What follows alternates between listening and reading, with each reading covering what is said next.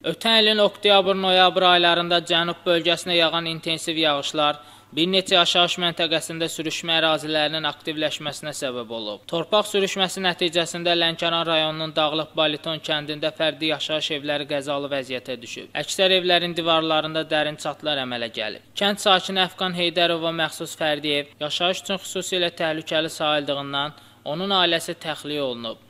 Təbii fəlakətdən ziyan çəkən sakinlər narahatdır.